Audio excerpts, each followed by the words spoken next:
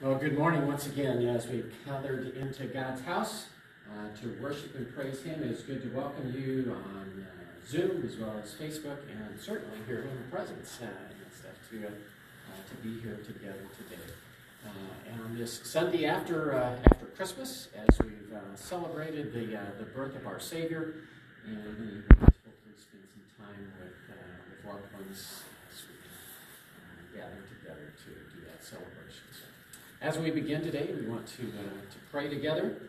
Uh, I know there are those we want to, uh, to remember in prayer. If you remember uh, brother-in-law Don Riley, he had uh, surgery on his uh, neck this week to remove some bone spurs that had been real painful to him. He ended up making a trip back to the emergency room because of swelling, but they're hopefully expecting to release him this afternoon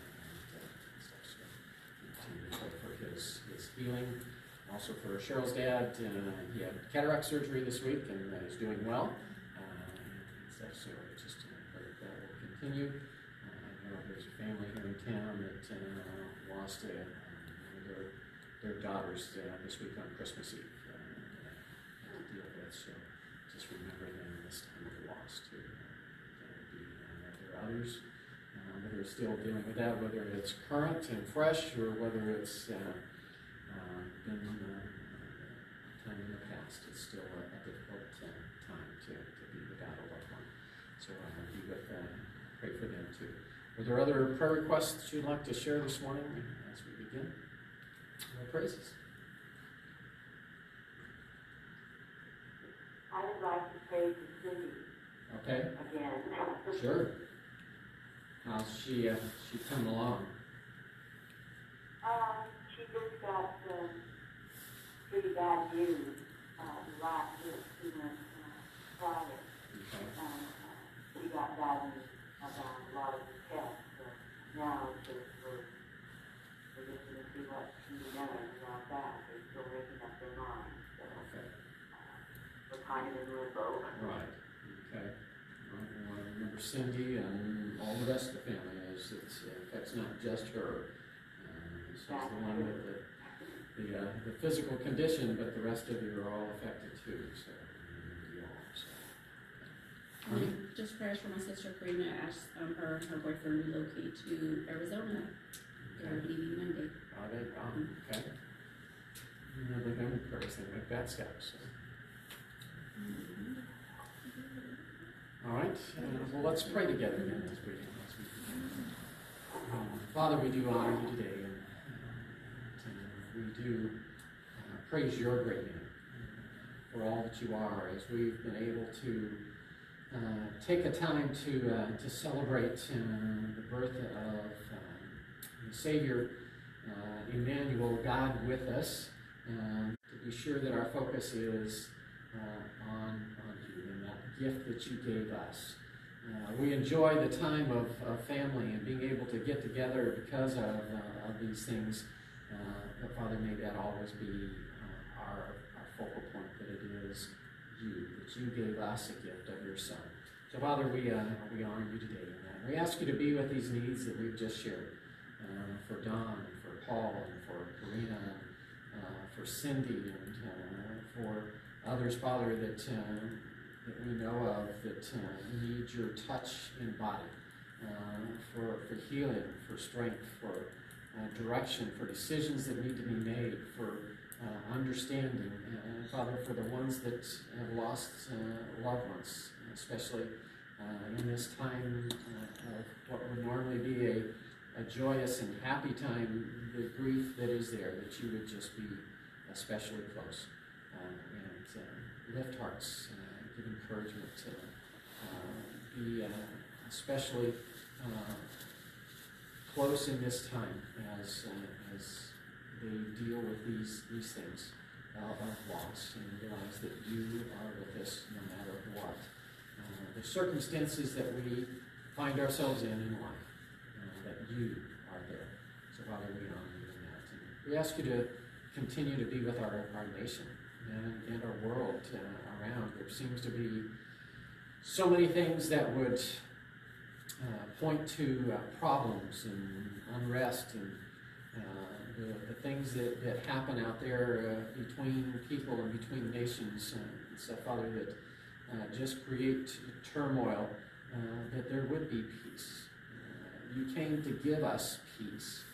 Um, and we know that this, this world is uh, now under the authority of, of Satan, but that's only for a short time, for we know the end of the story. Uh, but in the meantime, we still pray for your peace uh, to be with us.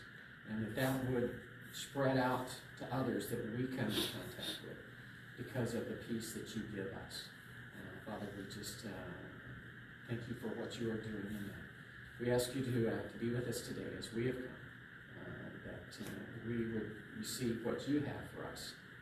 Jesus' name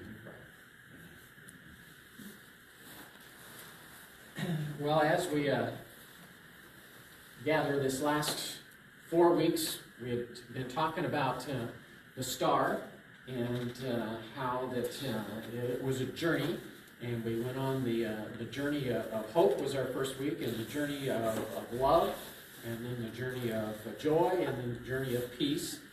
And there's another journey that has taken place because of that star.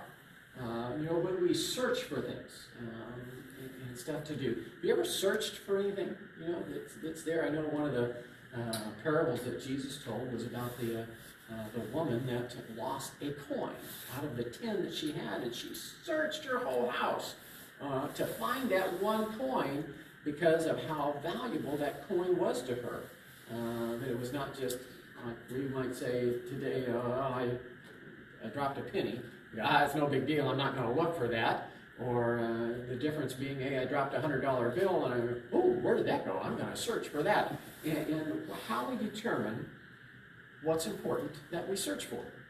Um, you've probably all seen uh, the, uh, the Finding Waldo books, right?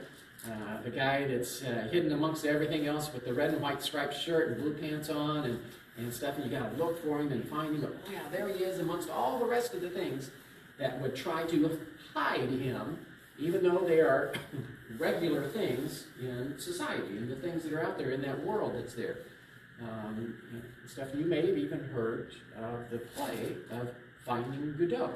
Uh, and stuff to where there's a couple of guys standing by a tree waiting for this guy Godot to show up, and he doesn't. And somebody comes and says, "Oh, he'll be here tomorrow," and so they leave and they come back the next day, and oh, he'll be here tomorrow. And that how that that goes, that they're searching and finding for something. Well, what if I told you guys that there was something sweet and chewy and maybe even nutty uh, maybe you have some caramel in it, uh, and I've told you where to find something like that that would be so enticing. Um, well, I bring you good, noise, good news of great joy uh, to everyone who finds those items in the Christmas trees.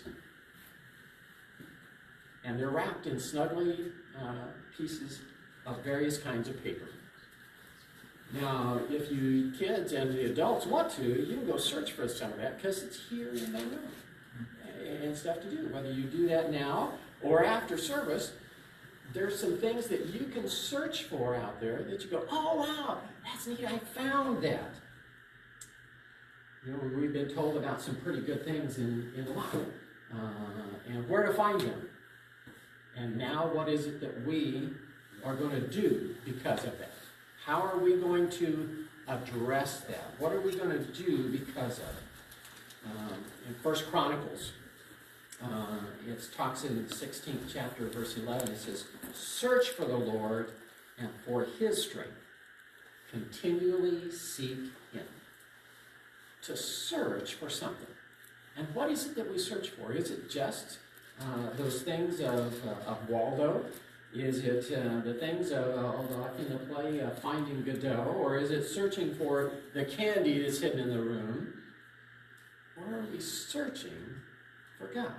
And that's what that took place on that Christmas Eve night, was searching for Jesus. The, the shepherds started off that story. As we've talked about over the last several weeks, uh, found in, in Luke chapter 8, chapter 2, beginning at verse 8, is the story of the shepherds and their search. Uh, if you want to follow along with me, uh, you can turn in your Bibles to Luke chapter 2, beginning of verse 8. It says, That night some shepherds were in the fields outside the village, guarding their flocks of sheep. Suddenly an angel of the Lord appeared among them, and the radiance of the Lord's glory surrounded them, and they were terribly frightened. But the angel reassured them, Don't be afraid, he said. I bring you good news of great joy for everyone. The Savior, yes, the Messiah, the Lord, has been born tonight in Bethlehem, the city of David. And this is how you will recognize him. You will find a baby lying in a manger wrapped in snugly strips of cloth. Suddenly, the angel was joined by a vast host of others, the armies of heaven, praising God.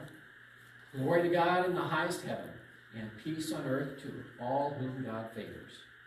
When the angels had returned to heaven, the shepherds said to each other, Come, let's go to Bethlehem. Let's see this wonderful thing that has happened, which the Lord has told us about. They ran to the village and found Mary and Joseph, and there was the baby lying in the manger. The shepherds told everyone what had happened, what the angel had said to them about this child. All who heard the shepherd's story were astonished. But Mary quietly treasured these things in her heart and thought about them often. The shepherds went back to their fields and flocks, glorifying and praising God for what the angels had told them. And because they had seen the child, just as the angel had said. when the shepherds received that, that news about finding something so amazing, they decided to go search. And it says there in scriptures, they went out and looked, looked for what they'd been told about. And they found it. They acted on what they had heard. And they went to find that. So many times when we're told about something, we go, well, okay, I have time, I'll, I'll try to get to that uh, and stuff that, that's there. But the shepherds said that very night, they said, man, let's go see, let's go find this. And stuff they did.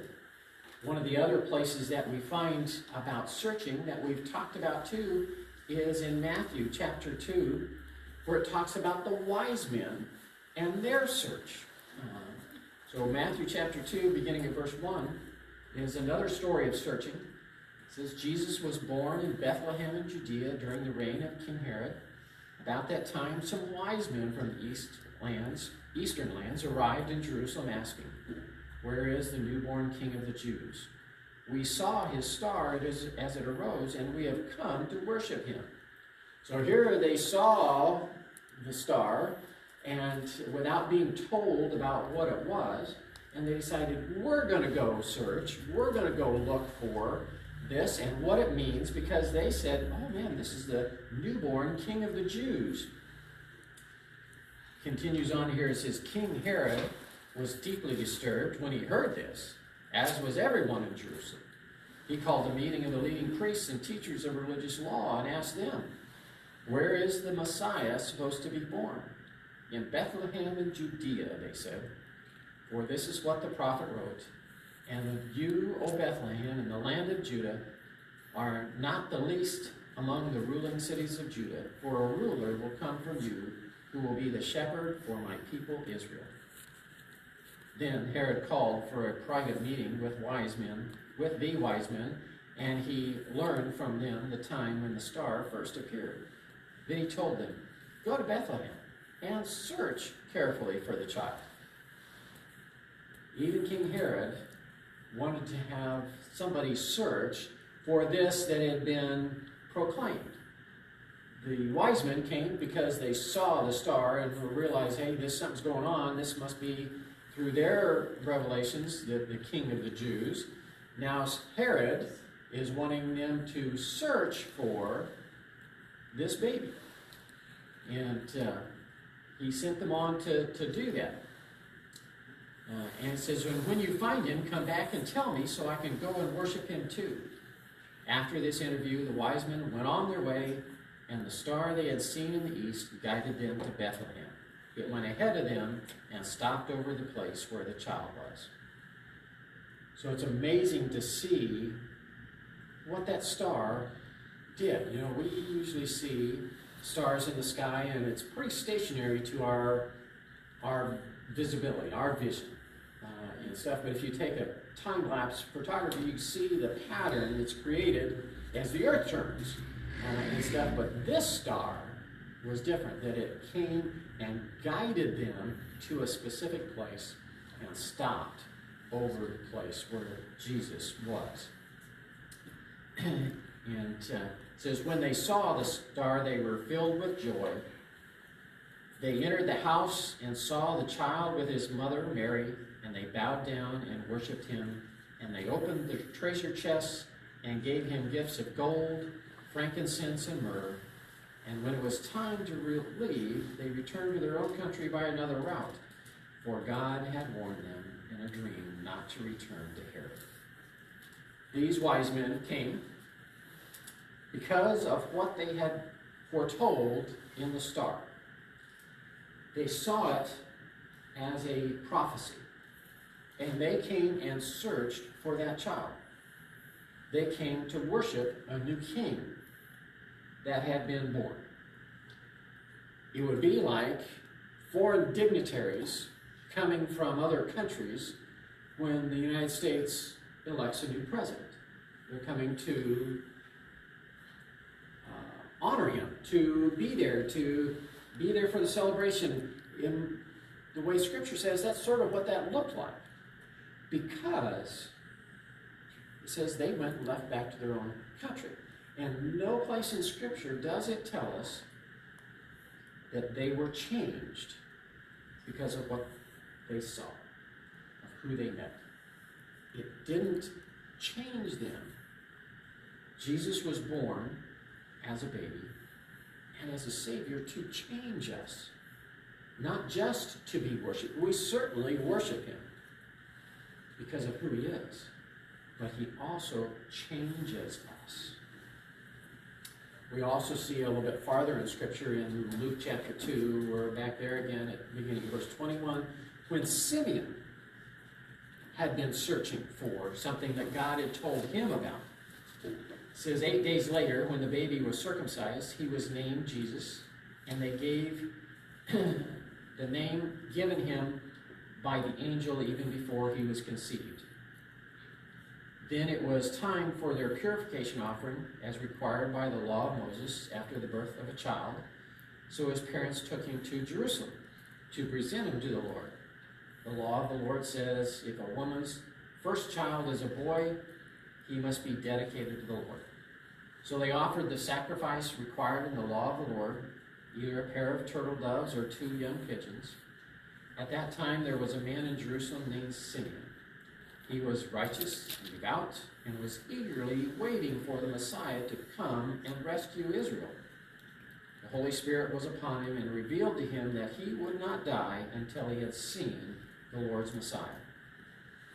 So he was in anticipation. He was older in years. He was been anticipating and searching for the Messiah that God told him was coming. And he had been told he would not die until he saw the Messiah. And he was anticipating that. This that day the Spirit led him to the temple. So when Mary and Joseph came to present the baby, the baby Jesus, to the Lord, as the law required, Simeon was there. And he took the child in his arms and praised God, saying, Sovereign Lord, now let your servant die in peace, as you have promised. I have seen your salvation, which you have prepared for all people. He is a light to reveal God to the nations, and he is the glory of your people Israel. Jesus' parents were amazed at what was being said about him. Then Simeon blessed them, and he said to Mary, the baby's mother, This child is destined to cause many in Israel to fall and many others to rise. He has been sent as a sign from God, but many will oppose him. And as a result, the deepest thoughts of many hearts will be revealed, and a sword will pierce your very soul. So Jesus' parents uh, were doing as the law required, Scripture says, that to take this firstborn male to the temple to be dedicated to the Lord. And that's when they found that somebody had been searching for their child Jesus. The um, this weekend, as we as a family read the this story, my six-year-old granddaughter said, "Well, why didn't Mary and Joseph understand what was going on?" Because they didn't know the rest of the story that we know at this point. We still don't know all of the story. We anticipate what's going to happen, but they were just told a certain portion that we now are privileged to, to know that Jesus, through his life, lived and what he did while he was here on earth, and that he was crucified and rose to life again to give us life. They didn't understand those things. They wondered at it. They thought, man, you know, God gave us this child, and it's his son, but they didn't have a clear picture of what that was going to turn out to be like. But they were obedient. They were doing what was required. And Simeon was there to give a little bit more insight to them as he said, For my eyes have seen your salvation. He didn't just say, I, I've seen the Savior, but salvation. He saw the end of what was going to happen, not just the beginning. When the Savior was born, we go, oh yeah, we see that. But the salvation is what is the end result of Jesus being born. Simeon said Jesus was a gift from God. And he recognized him as the Messiah, as that Savior that brought salvation, and that he would be a light to the entire world. Not just the people of Israel, but to the entire world. But he also realized that Jesus would be rejected by them with a result. And it will be their undoing, he said. And yet it will be the greatest joy to many others. See, there is no neutral ground in the belief about Jesus. It's either we believe who he said he was, and coming to be the Savior and bringing us salvation, and that there is no other way to get to God and to find eternal life. Or he's totally rejected. There's no middle ground. It's one or the other. Can't be, well, I sort of believe, and I, I hope this is true, and God will surely accept me, and, and uh, I've been good, and, and surely He would take me. Uh, and so none of that matters unless we accept Jesus Christ as our Savior. That search that we have. We can search all we want for those other things in life. Search for the perfect Christmas gift. Search for the candy that we have. Search for uh, that missing piece uh, that may be of things in, in life. Search for the perfect job. Search for the perfect mate. Search for all of those kinds of things. And we may find those things. But none of that matters unless we search for Jesus and find Him and do something about it. It's not enough to know about Jesus. It's not enough to just say, oh yeah, I see that He was. Oh yeah, that's whose birthday we celebrate. We just did that yesterday. That's good enough for me to know. I have to do something with it. I can't be like the wise men that came to worship and go, wow, that was really neat. I enjoyed that. I'm going to go home. And it didn't change them. There's no neutral ground. We have to make a choice of who Jesus is. My salvation. Or I'm just hoping for the best. We have to make a choice. Isaiah 49 6 tells us uh, long before Jesus was born, uh, he says, You will do more than restore the people of Israel to me.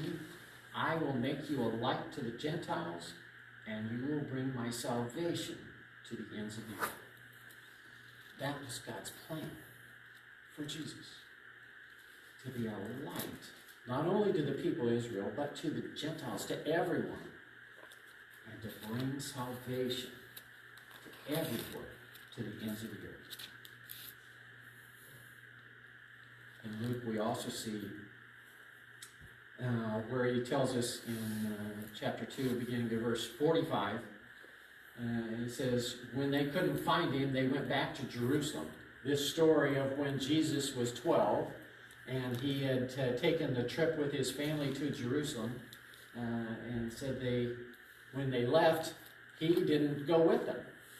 And they couldn't find him, and they went back to Jerusalem to search for him there. It says three days later, they finally discovered him in the temple, sitting among the religious teachers, listening to them and asking questions. All who heard him were amazed at his understanding and his answers.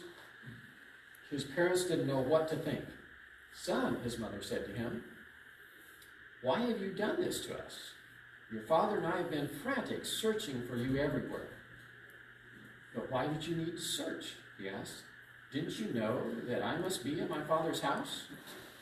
But they didn't understand what he meant. You know, sometimes uh, if you can't find something in your house, uh, whether it's a particular kitchen item or a tool or whatever it is, and you search and search for it, uh, but you ask somebody else, well, I can't find this, and they say, oh yeah, it's right here. that they know. Uh, and stuff to do, no matter how hard you search. And that's sort of the picture of what took place here in this portion of the story that Jesus understood. He knew. He said, I, I had to be in my Father's house, doing my Father's business. Why were you searching for me? He said, because Mary and Joseph didn't know the full extent of the story yet. They didn't understand that. And they got a clearer picture of that too. And because Jesus knew what the end of the story was, he was going to be that salvation for the world. And he knew what that story was. Psalmist tells us in Psalms 9, says, Those who know your name trust in you, for you, O Lord, do not abandon those who search for you. When we search for God, He does not give up. And it's not like He's hiding from us in hide and seek uh, and stuff. He's there just wanting us to say, hey, I'm trying to find you, and that's enough. Uh, that we need to search for God. To not just be willing to say, oh, well, whatever happens, happens.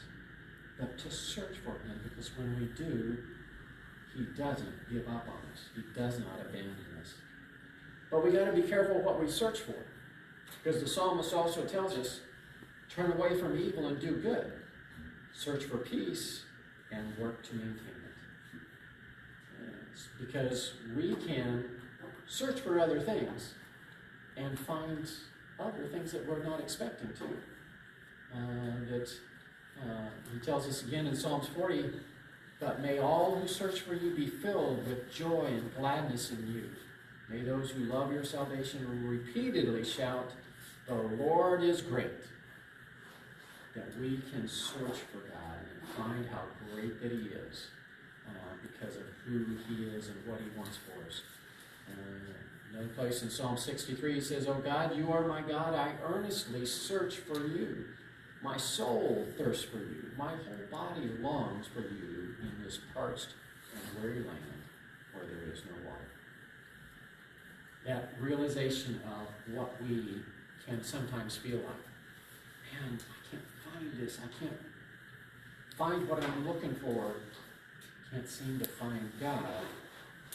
But the psalmist says, when I search for him, panting for water in this dry and weary land, he reveals himself to us. Search for the Lord and for his strength. Continually seek him. Remember the wonders he has performed, his miracles and the rulings he has given, you children of his servant Abraham, you descendants of Jacob, the chosen ones. Proverbs tells us, My child, listen to what I say and treasure my commands. Tune your ears to wisdom, concentrate on understanding, cry out for insight, ask for understanding, search for them as you would for silver, seek them like hidden treasures. then you will understand what it means to fear the Lord. And you will again have knowledge of God. To search.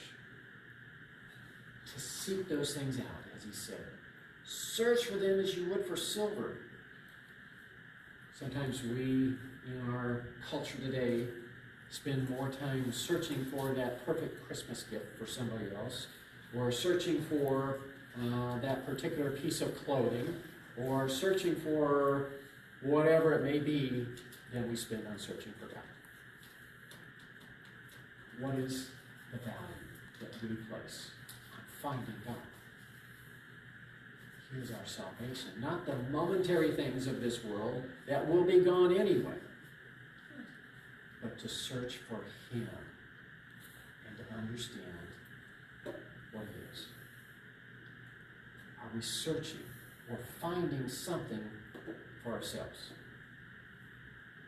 You know, it's popular in our culture today to say, hey, I, I, I gotta go find myself. People are searching for themselves in all different kinds of ways and places and trying new things and stuff to, to find themselves in different things. But first, we need to search and find Jesus, our salvation. And then everything else falls in place because we have found the most valuable thing to ever be given us life with God eternally. Forgiveness of sins. Search for Jesus. Would you pray with me as we close? Father, we thank you. Thank you for the gift that you give. Thank you for your blessings to us. And that the search that we have in finding Jesus is not a difficult search. For you want to be found. You are there at our every turn. All we have to do is say, God, I want to find you. And there you are. Change us because we find you. Help us to not be like the wise men that came and apparently were not changed. They just came to worship and that was enough. And go on back to what they were doing. Lord, change us because we find your salvation born in a baby. Thank you for your love for us. In Jesus' name we pray. Amen. Thank you. It's good to be with you all.